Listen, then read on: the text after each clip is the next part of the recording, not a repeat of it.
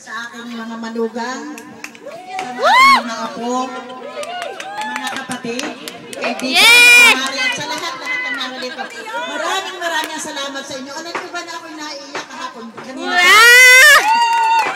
drama. Kasi hindi ko akalain na meron akong binigay ang aking mga anak na ganitong uh, welcome para sa akin. Pero may picturean mo. Naiiyak talaga, hindi ko akalain ganun. Makasayo ko ata bilang nanay, kahit wala ang daddy nila. Kaya huwag kayo maglakap. Eh, ngayon ko naranasan na. Tsaka, tsaka hindi ko alam na ako pala talagang mahal ng aking mga anak. Oo, talaga, ganun ang na-feel ko ngayon. Tsaka, ewan ko, ito ang aking birthday na pinakamagandang birthday in my life. Sa edad ko yung 64 years old, hindi ko akalain na Tsaka mararating ko yung ganito na I'm still healthy, strong, with the help of our Lord. And thank you very much sa aking mga visitors. They are all very special to me. Thank you and be happy tonight, okay? Yes!